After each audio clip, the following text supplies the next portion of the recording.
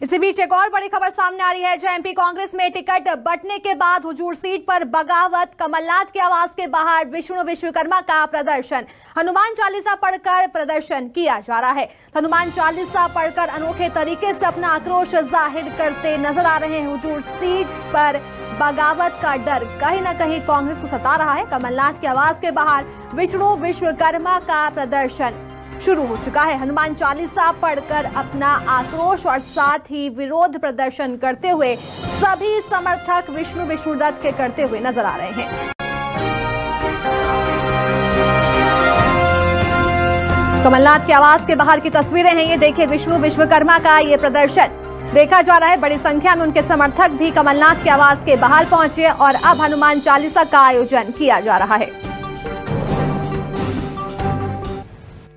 मध्य प्रदेश के विधानसभा संग्राम में कांग्रेस की सूची जारी होने के बाद प्रत्याशियों और दावेदारों का विरोध शुरू है।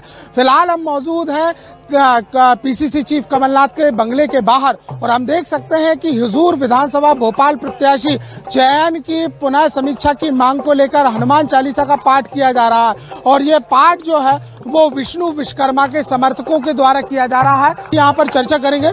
कि साहब क्या आप लोगों की प्लानिंग है? आगे क्या करने वाले? हमारी प्लान ये है कि भैया को टिकट मिलना चाहिए और भैया को टिकट लेके ही जाएँगे और जो जो नरेश ज्ञान चंदानी को टिकट दिया गया है उस टिकट को कैंसिल करके विष्णु विश्वकर्मा जी को टिकट मिलना चाहिए। इसके लिए हम आज यहाँ पे हनुमान चालीसा कर रहे हैं और आज हम पूरा हनुमान चालीसा यहाँ पे बैठ के ही करेंगे और पूरा दिन भर ही चले गए हनुमान चालीसा। टिकट नहीं हुआ तो फिर स्वतंत्र निर्णय बगावती सुर। बगावती सुर वो तो देखते ही आ रहे हैं। आजकल पार्टी में बगावती सुर चल रहे हैं। क्योंकि जिसने इतनी मेहनत की है, अगर उसको टिकट नहीं मिलता है तो वो तो देखने को आ ही रहा है कि पार्टी में बगावत सुर तो चालू रहेंगे कहा जाए कि निर्दलीय से लेकर जो इस्तीफे का दौर है, वो भी शुरू हो सकता है। कैमरामैन भारत के साथ शिखिर व्यवहार, न्यूज़ 24 भोपाल।